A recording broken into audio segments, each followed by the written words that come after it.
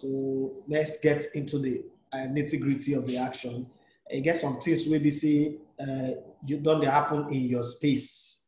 Mm? I guess some places we don't they happen in your space. We will say it they make me they ask. I'm not saying you. You come come here now. Say, eh, I need you to first of all pledge. I don't want somebody to swear. Pledge. Say you go answer my question in the right way. You're not going to play politics with me. You're not going to play diplomatic card with me. Now, radio with day. Let my listeners, they happy. See, they, they, now I know you're married. Don't dribble me, oh, I beg you.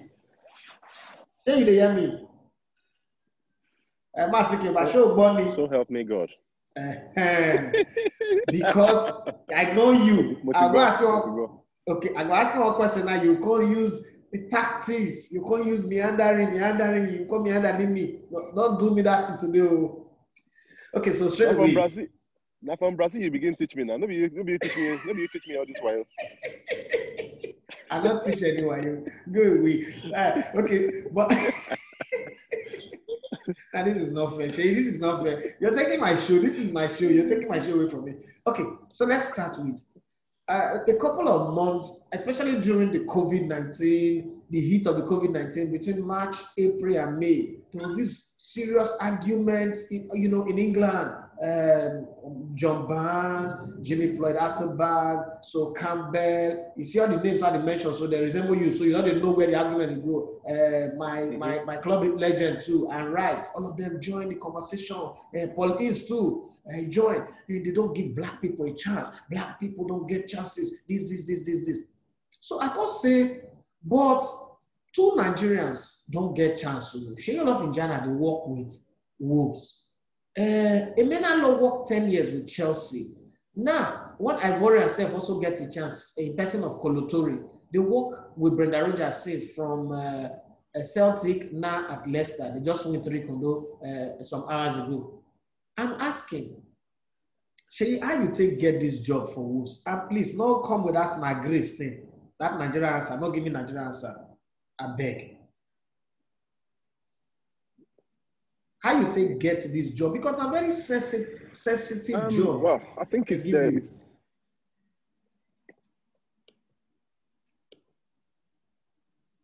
it's a it's a very sensitive job, and um, let, let let us face it. Um, I've said this to a few houses, and I continue to say it.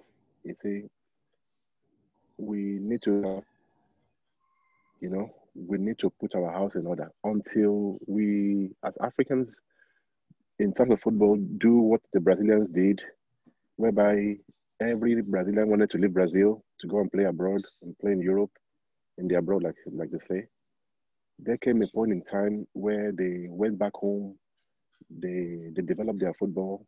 They, they they pumped a lot of money into the football in such a way that Brazil became a very very viable place to play football.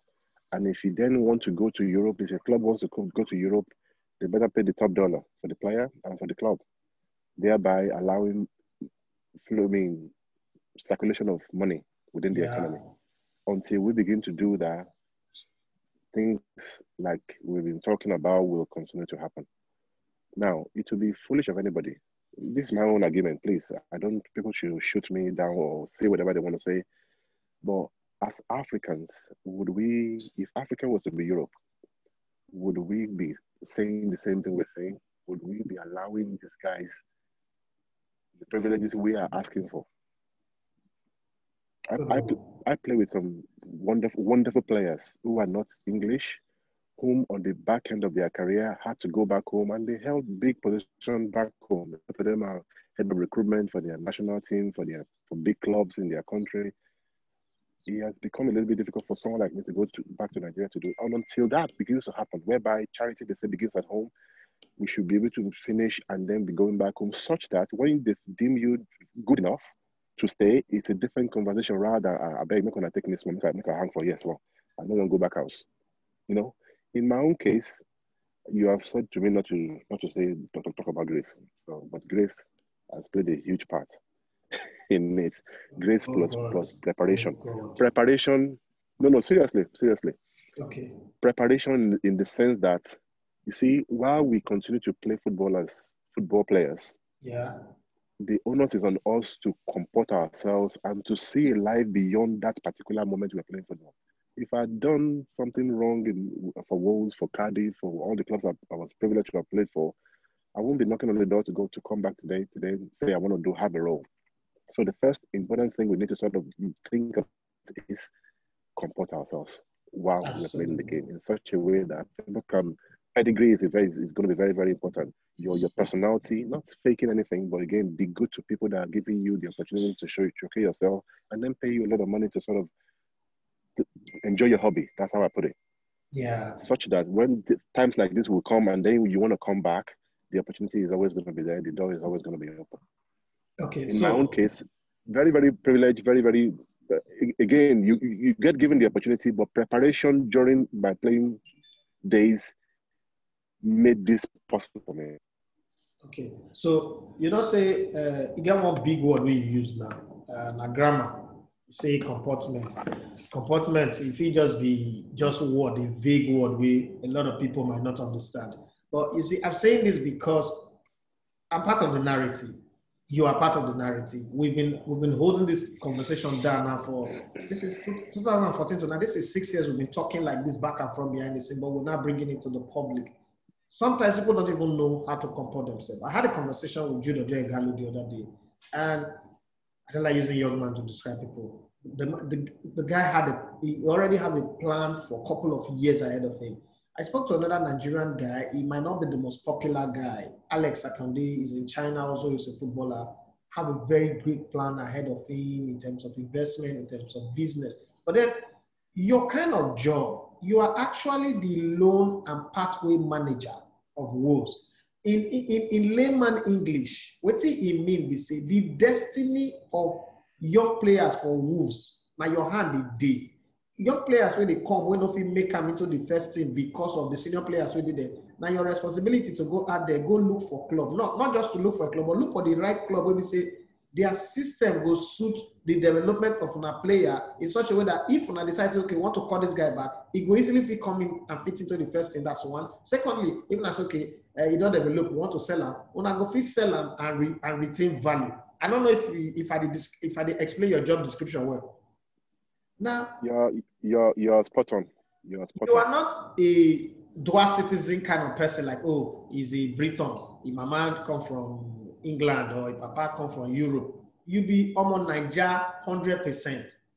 How is it that Wolves look at everybody? Now, there's this thing where I'm driving this point to is before you even finish your career, you were a footballer with a master's degree. And a lot of people will always say, not me, especially in Nigeria today, where you see uh, a professor can become a back carrier for a school cert holder, a PhD holder can become a driver. And then, you know, the, the, the silliest mistake to make is to use those examples to say, eh, I beg you, what's the use of school? When you go school finish, hush puppy will make more money than you. But in the real world that we live in, where hard work pay, where consistency, where doing the right thing is the real thing, and that's the major story that we don't get to tell. Can we safely say that Seyi Olofinjana, one of the reasons why wolves look say, okay, apart from say you comport yourself, apart from say you behave well, apart from grace where you want to bring in, so or Sarah, whoever you want to bring in, your educational qualification also join for to make the come put you. Because for that place you go write reports you go write letters you go write proposals you go attend meetings you have to have the brain. Did that contribute or just your football qualities I give you that job? It's, it's a it's a it's a total package. You see um there's a saying there's a saying it, it takes um it takes a whole lot of um uh, people within an organization to build an organization. It only takes one idiot to spoil the culture, to ruin the whole thing. Yeah. And clubs are very, very mindful of who they bring into position, especially position of authority, position of such that I, I occupy today uh, by, by God's grace. So it comes with a pedigree, it comes with preparation, education, football, and everything. But again, again, it comes with the daily, I use that word again, daily comportment. So when Olofinjana went to Wolverhampton Wanderers after my football career, I told them straight away I wanted to be a sporting director. Where do I start from? Okay, what are your coaching badges? Oh, yeah, well, I've done my A license. I'm going to do my UEFA Pro license while I continue to work. Well, that's, that's fantastic. So you're well prepared already. You're, you're on course. Okay, why don't you go and handle our 16s? From 16s, you handle the, the, the 23s, and then you begin to get assignments from the sporting director and then the, the, the, the owners of the football club to sort of develop you to, to the next level. Because yes, coaching might not be the ultimate thing you want to do, but again, it forms a big part of the whole thing you, you, you're going to do within the football club. And a lot of us this is, this is a topic for another day anyway. A lot of ex football players think because we have played the game, then we know everything about coaching. Coaching, management, management in football and playing football are two different things. You're just fortunate to be working within the same industry, but they're two different things. You need to learn, which was what I had to do initially. So on the back end of that, because I wanted to be a sporting director, the loans manager role came up as um, made mandatory by the by the Premier League for every Premier League club to have the loans manager. I said, well, it's a good role for me. I applied for it within the same organization, and I said, you're perfect for it. Perfect because it's, it's, it's one step before the next sporting directorship thing you want to do because you're going to do it with transfer. You're going to work work with the recruitment team. You're going to work with the media team. You're going to be responsible for players, both senior first team players and, and junior players. With regards, like you said, their destiny. Where is the next best thing, best place for them to go to in terms of club and development and what have you? And all those things took a while to sort of fathom. But again, learning from those that have been there before, working day to day with the sporting director and being not being frightened to sort of delve into it and, and go and de- deal with it uh, was what I did initially before I, I mean got to this point. But again, it's about trust. It's about checking that Seyi is the same Seyi we used to know, and now is still is a better version of himself. Now it's not just oh, because oh yeah, I've played 45 games for the football club. I've played over 200 games for the football club. That gives him the, the right to to come in. No, no, no. It doesn't work that way. If you don't have the qualification, and again the the, the, the pedigree to do the job, you, you don't get a point. Okay, so I'm one of those people, and black people hate me for this for saying this all the time. I'm one of those people who say that Skin does not have anything to do with it. It is qualification, pedigree, and trust. And you just mentioned those things. Wolves is a very, very important club in the football history and football organogram of England. And I, I try to do a whole lot of back end research before this interview started. Now, when you walk in through the door at Molineux, and you walk in, you, you're missing up on people, do you feel less of a person? Like, do you have that feeling in the corridors of power, like, oh, no, he's a black guy, so we can't trust him, we can't have him around? Do you feel that, oh, when you walk in, you know, I'm walking into my environment where I work and I've earned the right to be here, and people treat me right because I've earned it. And when they discipline me to, it's because I've done something wrong, not because of my color. Does that happen? It's a mindset. I think you, you you you go to work, you go to places like that, you go to the Molineux when you have thousands of people going there, believing I'm here not because somebody has helped me. I'm actually here because I'm qualified to be here, which is which which is um, my strength. When I did when I did analysis about, about my personality, comes from comes from knowledge. I'm not the type of person that would just do something off the cuff. I need to be very very sure of what I'm doing which is my core strength really. And as long, as long as I have that knowledge and I know I'm qualified to do that, I don't care what anybody's thinking. Life is all about perspective. But again, it's easy for me to say that because I'm not I'm working now for a club I've played for where a lot of the fans, a lot of the people within the football club know me. If I were to be working for a different organization whereby I've not played before, I have to sort of end my metal, it's a different conversation. But again, with that, I've got I've got degrees to back me up. In terms of this same industry, I've played at the highest level. Nobody can tell me anything about football that I've not been through before. And on the other side, I'm, I'm I've, I've qualified to be here. So by right, I deserve to be there. Okay, so let's go through the day-to-day workings of your job uh, for the ordinary person because okay, this is also a new role in football. Uh, when me and you, when we're playing football, this role was not there. This is a new a new role now in football. This used to be a job that the coach, the manager does, like an extra work that the manager does. Oh, I know this person, please, hello, can you take this player on loan and, and see how we can do it? And then you talk to the management. But now this is a specific, like a specialized role. What is the day-to-day requirement of the loans uh, manager at Wolves for Seyi Olofinjana? Well, yeah, around now, we are busiest when it's um, when the transfer window is open because then you need to find opportunities for players. You need to. I'm, I'm, at the training ground every day because the players you want to market, you better be there to sort of know the day to day. Are they injured? Are they training well? Like what type of what, what's what's going on? Even though you have prior knowledge of the players, you need to be there on a daily basis to see, to, to, to monitor them. And when they're training below par, you need to let them know because is at the end of the day, you're recommending them to clubs is your word against theirs. Yeah because all of a sudden the club is you're saying to the club this player is a very very good striker he can do this he can do that when he gets there you better do it because the next time you pick the phone for another player they will listen to you so as well as you want to put the players in a good light you want to be truthful with the club mention their areas of development mention their strengths and what have you let them know beforehand what they're what they're getting so that when they get it it's not like oh but he told he told me this guy is this so it's right footed when it's left footed and all those stuff sort of things so within with regards that i need to be on the training ground on a daily basis for the 23s, for the under 18s, for the first team, monitor what's going on, speak to the manager, speak to the head of recruitment. Who are we letting go? Is the manager, are we bringing anybody in? Because the, all these jobs, they overlap. If we're bringing if we're bringing a, a midfield player in, that means another midfield player within the first team squad might be surplus to requirement and might need a loan. And I need to know to, to then begin to make phone calls straight away. That's why it's a day-to-day job.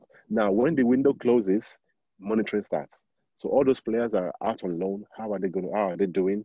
The with regards to the contract that they've signed, some will say, "Well, you pay us minimal amount of money. We don't need the money actually, but we need we need game time for the player. So the better the player has to be has to be playing, and you need to be working with the club secretary to then monitor how many games they're playing. Some we have triggers within their contracts. They play 20 games, then there's an option to buy. It's my responsibility to know how many games those guys are. It's a law. It's a whole law accommodation, contracts, all sort of things needs to be monitored for individual players. Last season I had 24 players, so you can imagine. Within that, you got to travel. This week I'm in Portugal. Next week I'm in Switzerland, going to watch games, going to see how they're doing, as well as speaking to, to the to the club and seeing how are things going. Are they if, if they're injured, I need to know straight away and then find a way to sort of get them back to our club. It's a whole raft of things that, that, that is doing on a daily basis. Okay, so uh, and that also includes uh, paperwork. That also includes relationship because Olofinjana needs to have a high dossier of contact. Uh, you have to have when you check your phone book, your contact must be very heavy because not everything the club will do for you. They provided you with job, provided you description, provided you office and staff that work with you.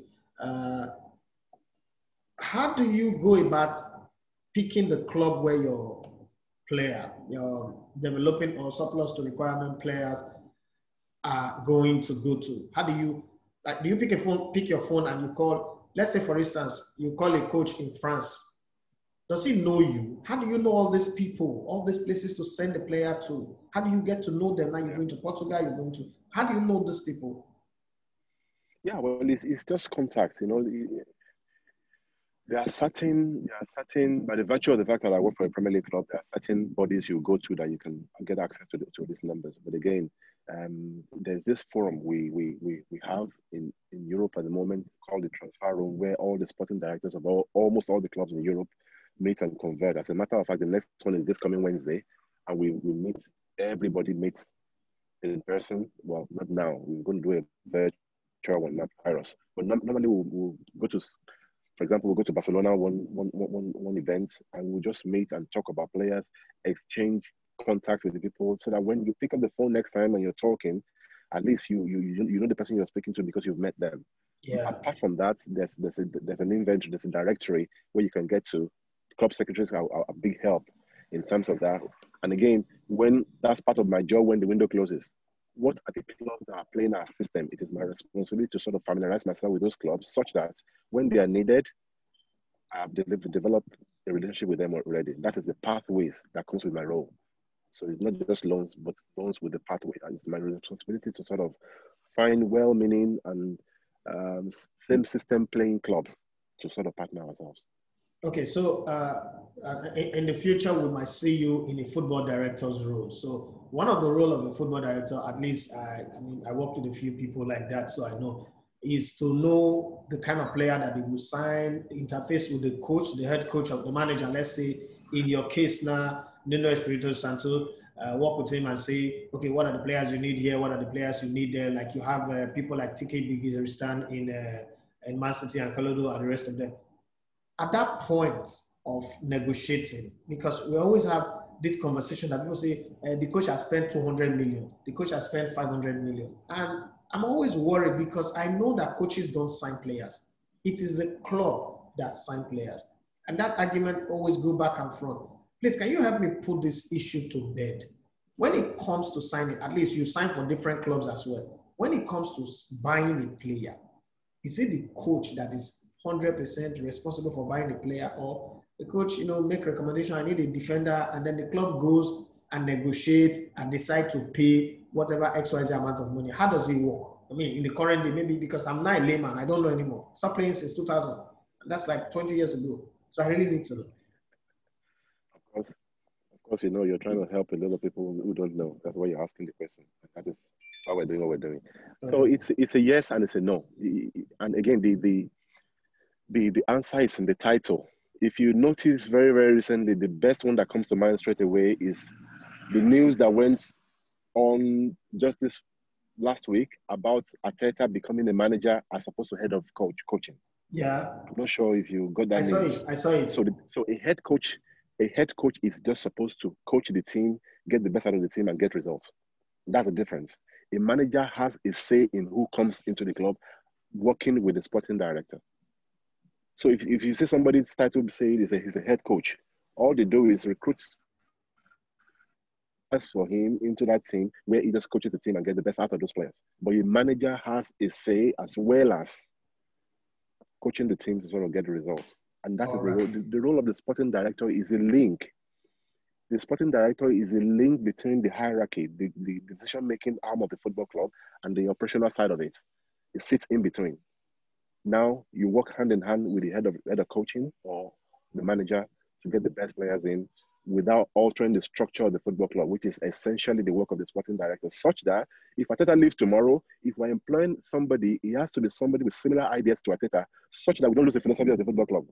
Absolutely, absolutely. So let's take uh, let's take it down to Nigerian players a bit, and uh, uh, some time ago, we did an Instagram live and we talked about uh, ex-international players feeling entitled and all that. But uh, do you monitor Nigerian players? Like you have um, people like uh, Jude Odiegalo in England, uh, you have quite a few other players, and then there is a table here. There is your your young boy who uh, who adores you, Taiwo Awoniyi, and then there's Victor Osimhen who's in Napoli, and all of these guys do you sometimes sit in your office at your spare time and monitor Nigerian players and try to see their development? Because there's a possibility that one Nigerian will just call you and say, you know what, Shay, you have too much experience. I bet come and work in our system. All this money that we're spending, we think you deserve it. Let's give it to you. Come and be the coach of the national team or come and run the technical department. And do you take time to watch them, study them, and take notes on what might what might be if the opportunity comes up? Of course, first and foremost, I mean, I mean, I'm Nigerian and I remain Nigerian. It doesn't matter how much, i how many passport I, I get during this sojourn. You know, I'm still Nigerian. I will, I will continue to be to be a Nigerian. I love Nigeria to bits, and I, I follow the players. I follow the Eagles. I follow the under 23 and the 17. I follow, I follow all, all our football, the coaches, appointments, and what have you. I don't get myself too involved in it because I don't think it's my place to do that. Now, from my active playing days, now I have become a fan again. I just watch, support yeah. on the side, hill, but again, I monitor all the players. This this this starts on on, on the table or, from the scouting department almost on a on a weekly basis. So why why not? It makes sense to know who is who's where, who's doing what, who's playing games, who's not playing games, who's scoring all the goals. Okay. Uh, there's this thing we talk about scouting, and sometimes you buy a player and then the player doesn't perform, and then they say, "Oh, the scout is a problem." And then let me use the one that comes to mind: Memphis Depay was scouted by the Manchester United uh, scouting team. They signed him. Uh, he, he, came to he came to Manchester United. One and a half season didn't do well. He was sold to to to France for Lyon for a cut price.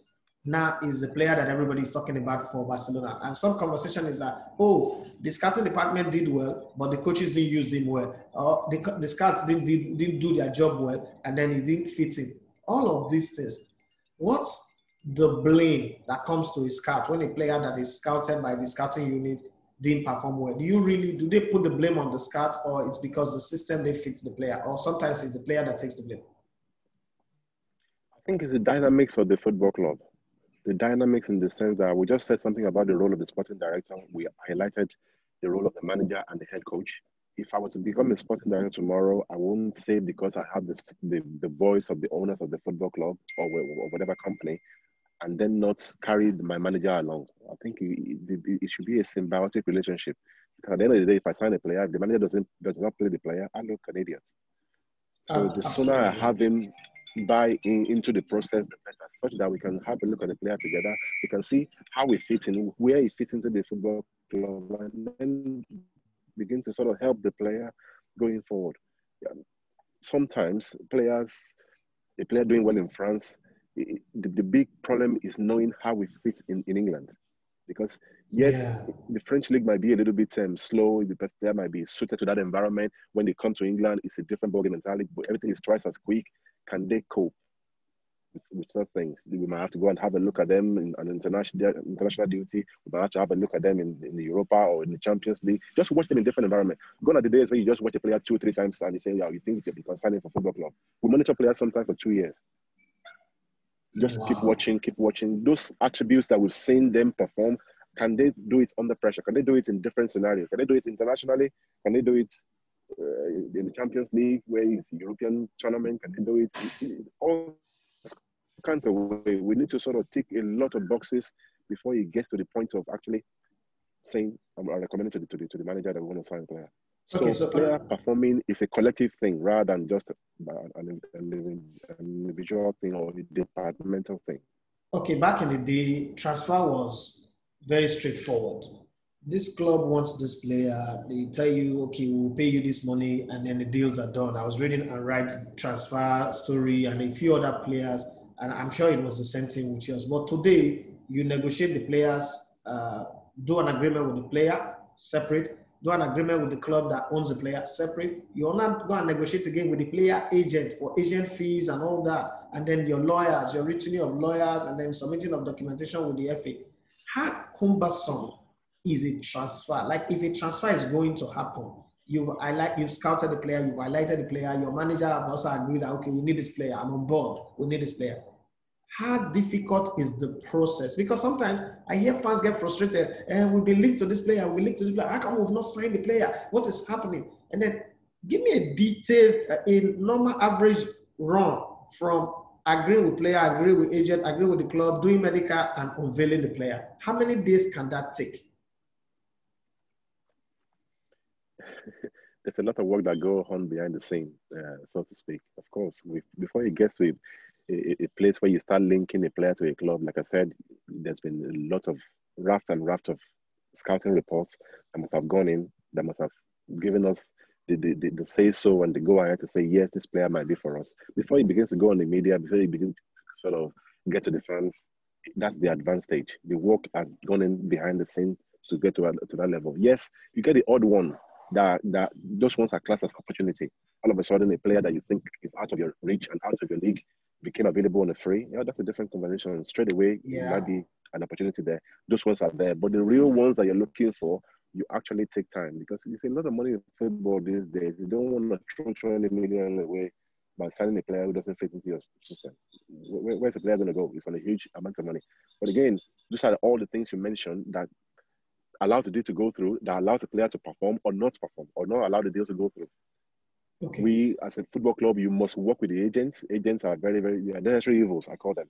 Yes, they, they are. are. very, very. They are key because the information they carry, the, the information they have a lot of the time, you might not have those information. How much, how much would the player expect to, to earn? How much would the club want for him? All those information, you know, nine times out of ten, you find out from the agent because then you begin to make up your mind: is it, will this play a player for us? Will it fall into our budget, our pay bracket? If know, it doesn't matter what the player is doing; it's off our list start looking at ones that we can afford because it's about at the end of the day it's about affordability. Yeah, that structure, affordability, and rest. Now uh, let's come, let's come down to the, uh, the, the, the there's this thing they call tip uh, markings for matches. Like the fixtures comes out and you know that you have 38 games to play Wolves, and the first target is we would not we will not go on relegation. Then the next target is we would finish above the top 10 uh, then we would we would try and qualify for Europe. Last season, Wolves. Now let's center on Wolves. Now. Wolves tested Europe and went very far, quarterfinals or so in, in the Europa.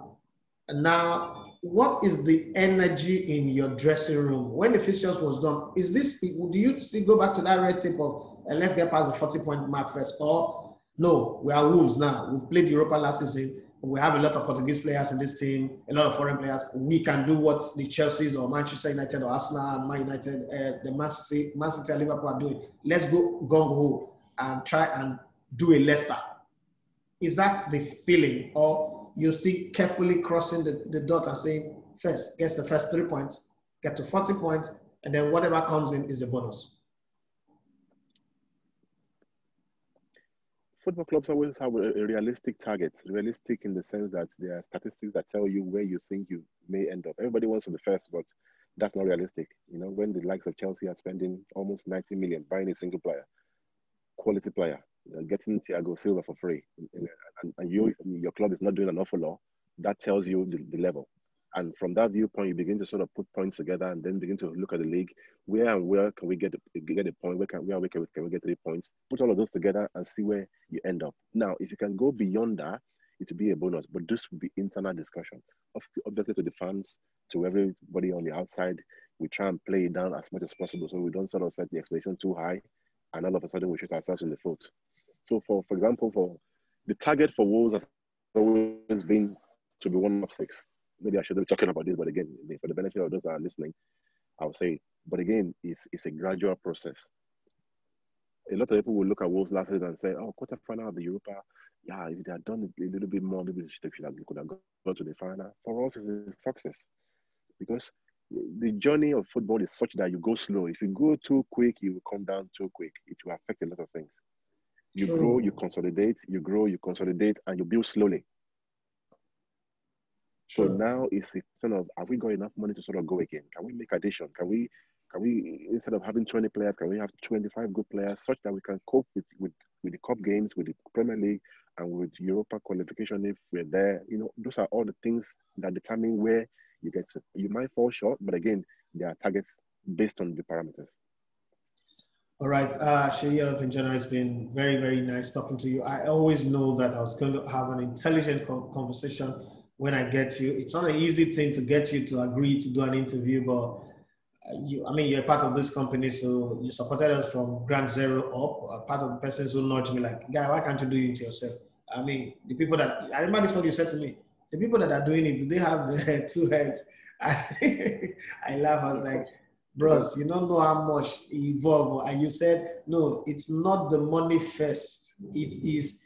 Uh, uh, what do they call them? It's the passion it, and the desire. It is the passion and the desire to, to go and do it. And I said, you know, when you say something to somebody and the person is arguing with you, but on the inside, there's a part of him that is saying, okay, oh, uh, what is this? Okay, so somebody said that they just gave their head coach a new contract at uh, your new coach, uh, Nuno Espirito.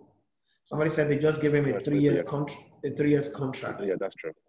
So it means that you guys are going to uh, be working together for a long time. Now, let me let me get into your relationship with him because I kind of like, like the man. You know, it's the kind of guy that I want. I like his energy, his attitude, his pomp.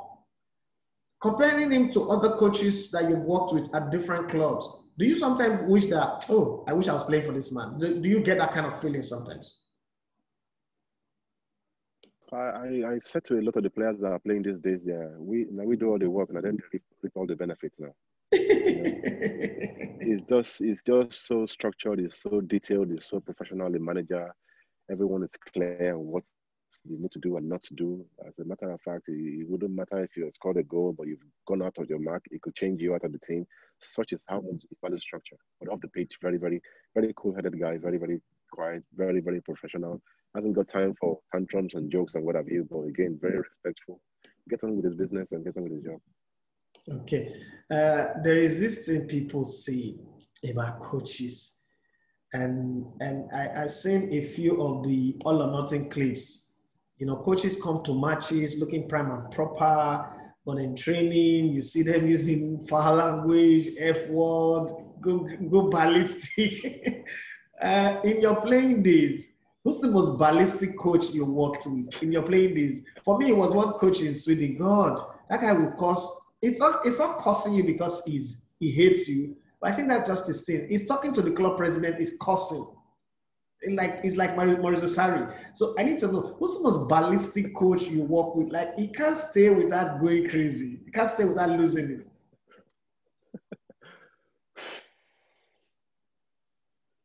That's a tough one. I worked with I worked with a few to be fair, and believe it or not, assistant managers are worse than managers.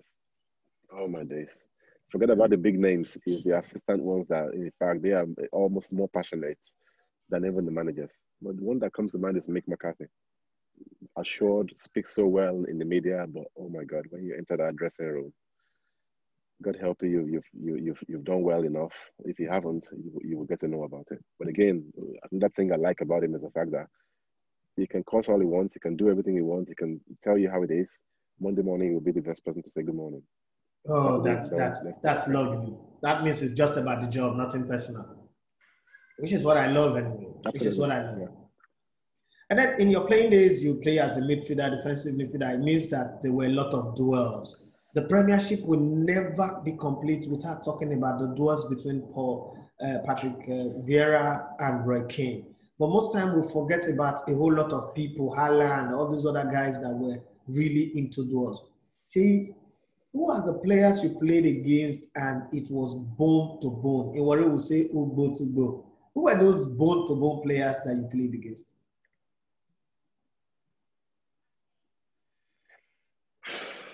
In terms of energy. Yes, in terms, in terms of, of, aggression, energy, energy and all that. Who? Steven Gerrard has got the law. He's got everything. Steven Gerrard. Wow. Oh my God. That guy could run. He could run, he could tackle, he could do anything, he could shoot, he could head.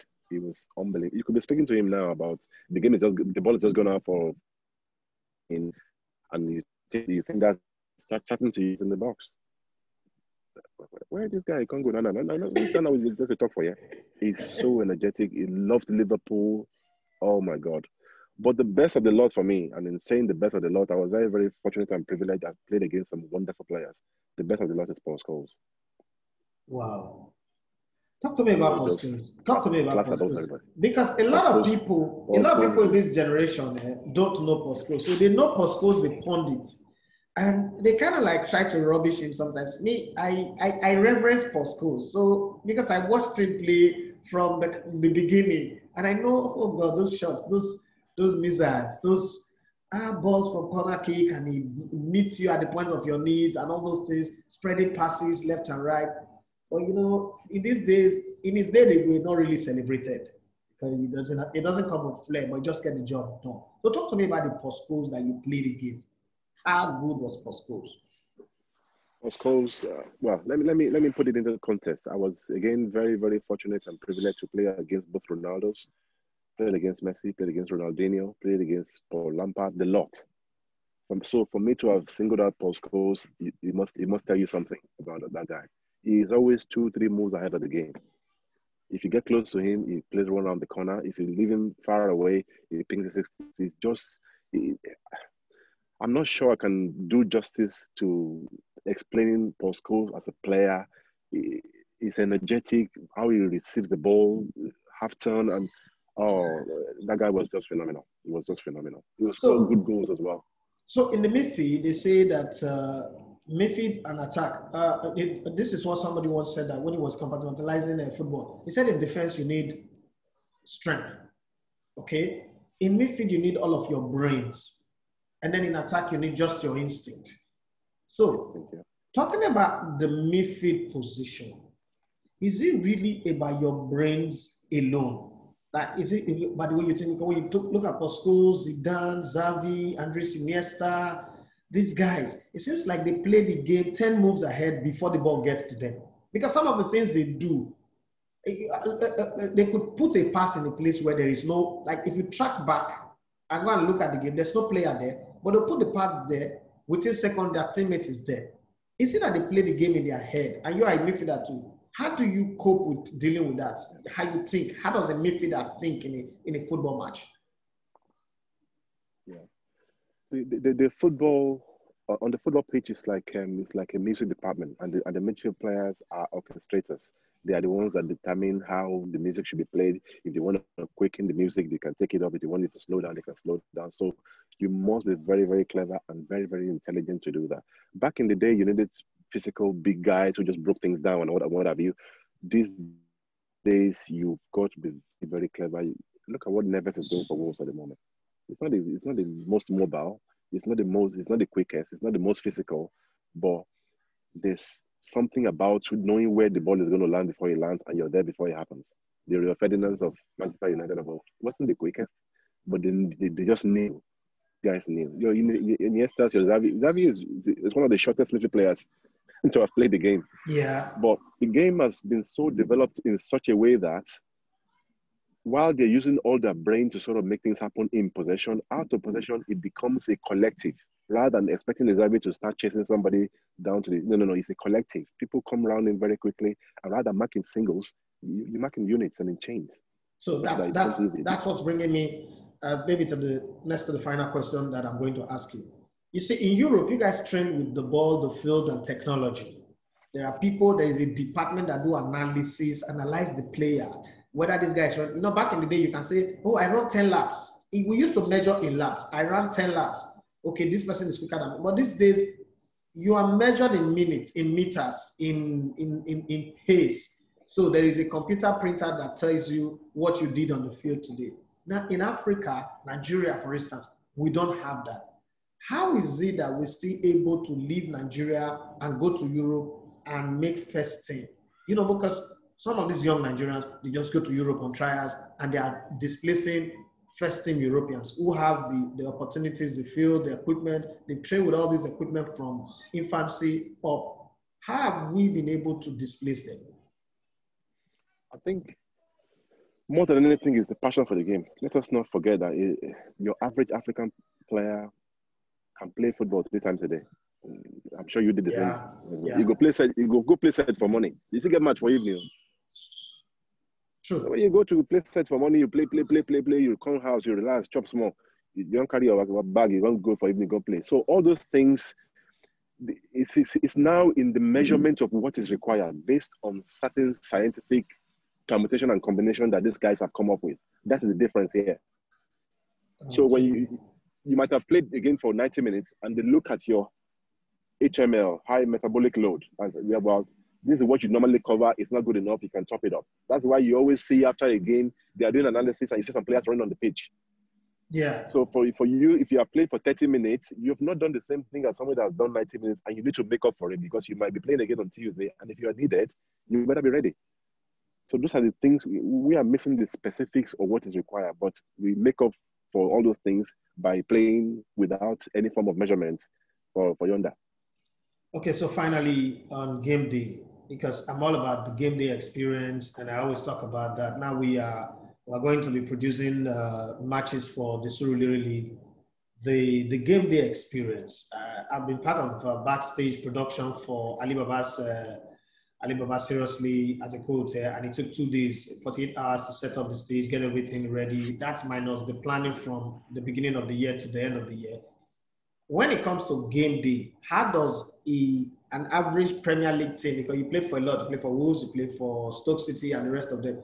How does an average Premier League prepare? What time do players wake up? What time do they eat? What time are they not supposed to eat again? How does the preparation goes before they go to match? Because I interviewed Omero the other t- time during the, the, the, the, lockdown, and he mentioned one thing that was very fundamental. He said Middlesbrough missed out on promotion because they left their hotel late, and then there was traffic in London, and then it affected them. By the time they, they got to the stadium, they were like panting, they ran into the match, the other opposition was ready. That's how they didn't gain promotion. So, how does a normal match day preparation, precision from waking up in the morning, run me through the whole rundown, the itinerary of a match day for a team like Wolves or any other Premiership team? I think it's different from for for different teams. It's just the, the, the key word there is the consistency, which was what Omero was alluding to. There's nothing yeah. wrong in coming late because you're going to play in London and then you're running to the pitch, but that tilts the norm. So normally we won't be running. Normal, and the brain starts overworking, which is what people out here are always after. It's about doing the same thing. It's just like practicing how to sort of do pull-outs. The more you practice, the better you get. So it's about that consistency. You know, for us, when I played it, a lot of the clubs I played for, as a matter of fact, you have your nutrition, t- I mean, uh, uh, statistics of what from Monday. So when it's getting to game time, when it's getting, and you have a, you almost have a routine of what you eat before the game. So the, normally you eat three hours before the game. Breakfast is always optional if you're playing away or playing home for for teams that stay in the hotel prior to their home game breakfast is optional. If you want to have breakfast, I'm not a breakfast person. So I don't even get up. I just sleep because I probably would have been studying all night in the hotel. So I just sleep in the mornings. But 11 o'clock, we go for a walk because you need to go for a walk to see how everybody is to get fresh air in your face. And 11:30, you have your pre-match meal, we call it, your routine. If you have pasta, if you have egg, whatever you want to eat, that's the time to eat it. Then after, straight after that, we go for match analysis. So we go to for video analysis. We talk about everything we've worked on in the week. Let's remind ourselves in possession, out of possession. Then from there onwards, everybody goes to, on, on the van, depending on how far the, the stadium is. And you go to the to, to, to the game to, to, play the football, and it's almost similar with every football club with how, with how they do things. So it's in the consistency. Some will want to get to the stadium an hour, an hour before. Some will like there two before those but whatever they do or whatever we did back in the day, it was always consistent. All right, thank you very much, Seyi Jana. It's uh, been a great time talking to you. Uh, before I let you go, I won't let you go without asking about Taiwo Awoniyi because uh, he left his German club as he is today. We saw a picture of him training with Liverpool. Uh, I know you're committed to Wolves. You shouldn't be getting involved in other clubs' players, but he's your son is your boy. Where is the likely place that Taiwo Awoniyi be playing next season? Or this season, sorry. It's, um, it's, a, it's, a, it's a tough ask. I Taiwo Awoniyi has got an agent. I'm not an agent. I'm, a, I'm very, very fortunate to have been the director of a, an academy that's holding to Liverpool. But in saying that, I mean, the Liverpool guys, I, I'm friends with them, so I'm always in touch with them to see and monitor its progress. You know, he's looking for another opportunity, either to be sold to another club, either get an opportunity to, to play for the Super Eagles to amass the number of caps such that I can begin to, to back to play for, for, for Liverpool to sort of qualify to get its work permit, or actually to go out on loan again and see what happens. Um, Brexit might be a good opportunity in the sense that it becomes a different ball game from January coming, where the opportunity to get your work permit might be a little bit, the, the, the, the terms might be a little bit reduced. And from that viewpoint, it might qualify to play in England, which is something he really wants to do. Because he's spoken to Klopp, Klopp a lot, a lot of times. Klopp likes him, but again, he, can come back and play for Liverpool. So it's a, it's a difficult one, a difficult one, one that we're monitoring very, very closely. But again, it's a club that's going to give him an opportunity to play, to develop. I, I, I see a young man that was given the right opportunity, given the right club, given the right environment, can thrive, can can can do so well even for the Super Eagles. All right, let's hope that he gets that Super Eagles chance. Uh, I mean, I had a chat with him. We still have an ongoing conversation, and I love, I, I, I, love his demeanor, his personality, his attitude. It's something that I, I really love. I think it took a whole lot from you because I could see a younger version of you in him, and you always say no, he should be better than you. But that's a very, very high mountain to climb. It's not easy to to beat Mr. George. It's not easy, but I hope he does. I mean, he's able to do that. But thank you very much for your time. And uh, for your sake, we are fans of Wolves. What, what we would ask you is, please, when you're coming to Nigeria, help us get a jersey, a Wolves jersey that is signed by all players of Wolves. We're not going to give it out. We'll hang it on the wall of our radio station, put it in a glass, frame it, and put it here. That uh, people, listeners will say, at the beg now?" Yes, at the beg. I know get levels. I need the shame for this one.